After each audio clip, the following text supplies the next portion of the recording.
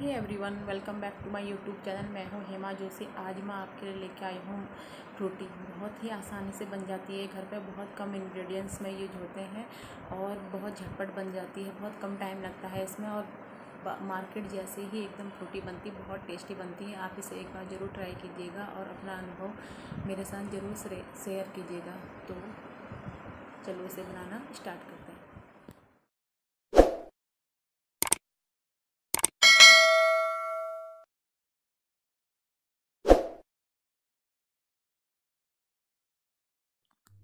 तो फ्रेंड्स आप देख सकते हैं, यहाँ पर मैंने कच्चे आम लिए हैं। इनको मैंने अच्छे से धोने के बाद इनका छिलका हटा दिया है।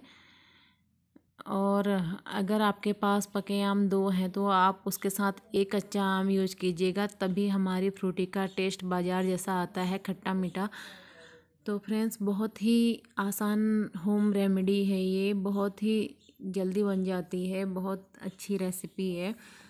तो अगर आम का सीज़न है तो आप घर पे ही फ्रूटी बनाइएगा, अपने बच्चों को पिलाइएगा, खुद पीजिएगा, क्योंकि मार्केट में, मार्केट की फ्रूटी में काफ़ी केमिकल होते हैं तो घर में बनी हुई फ्रूटी बच्चे भी अच्छे से पी लेते हैं और उसका कोई नुकसान भी नहीं है।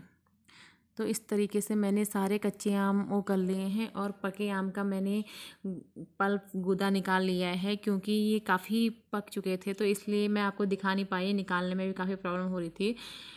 तो फ्रेंड्स, आप देख सकते हैं। अब मैंने यहाँ पर कुकर रख लिया था। पता नहीं मेरा कैमरा कैसे ऑफ़ हो गया है। मैंने इसमें कच्चे और पके आम दोनों ऐड कर दिए हैं।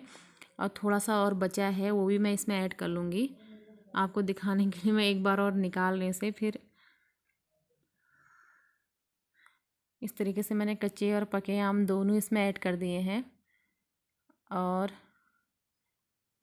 इसको मैं तब तक पकाऊँगी जब तक इसमें चार सीटी आने के बाद ये पक न जाए। इसको मैं चार सीटी लगाऊँगी। चार सीटी के बाद मैं गैस की फ्लेम ऑफ़ कर लूँगी। ऑफ़ करने के बाद, ठंडा होने के बाद ही मैं इसको मिक्सी के जार में पीसूँगी। तो फ्रेंड्स, चार सीटी आ चुकी हैं। मैंने गैस को कर लिया ऑफ़। थोड़ा सा मैं और पका रही हूँ। मुझे थोड़ा सा हार्ड लग रहा था। आप देख लीजिएगा। अब जब तक हमारे आम ठंडे हो रहे हैं तब तक मैं यहाँ पे शुगर सिरप बना लेती हूँ उसके लिए। हमें चाशनी नहीं बनानी है बस चीनी डाल के बस चीनी घोलना है। अगर आ, आपके आम मीठे हैं तो आप चीनी कम यूज़ कीजिएगा। अगर खट्टे हैं तो आप ज़्यादा चीनी डालिएगा उसमें। तो फ्रेंड्स आप देख सकते हैं मैंने चीनी ऐड कर दी है।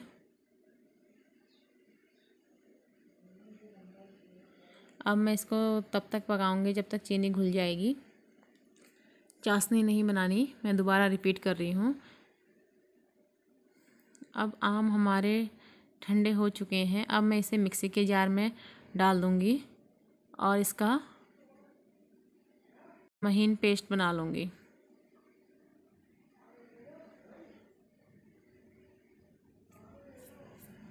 मैंने जार में डाल दिया है। अब मैं इनको पीस लूँगी। तो फ्रेंड्स आप देख सकते हैं हमारा पेस्ट तैयार है। अब मैं इसको स्टेनर की हेल्प से छान लूँगी, क्योंकि थोड़ा सा आम में रेसे होते हैं तो बच्चों के मुँह में आते हैं तो बच्चों को कोई प्रॉब्लम ना हो, इसलिए मैं इसे स्टेनर में छान लूँगी। अब आप आपके पास बड़ा स्टेनर है तो आप उसे यूज़ कीजिएगा। छोटे में काफ़ी मेहनत लगती है, काफ़ी टाइम लगता है। मैं आपको दिखाने के लिए यहाँ पे छोटा यूज़ कर रही हूँ।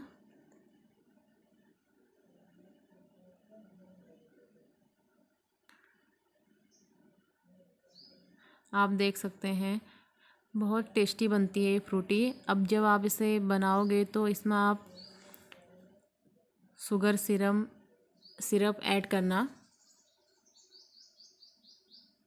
ये। इतना रेसा निकला इसमें से। अब इसमें मैं पानी ऐड करूँगी। और थोड़ा सा ये चीनी का पानी ऐड करूँगी इसमें। आप चीनी का पानी टेस्ट करने के बाद ही ऐड करना है कि कितना मीठा इसमें चाहिए। अब मैं इसमें पानी ऐड करूँगी। और इसको अच्छे से मिक्स कर लूँगी। अभी भी काफ़ी थिक बनती है ये।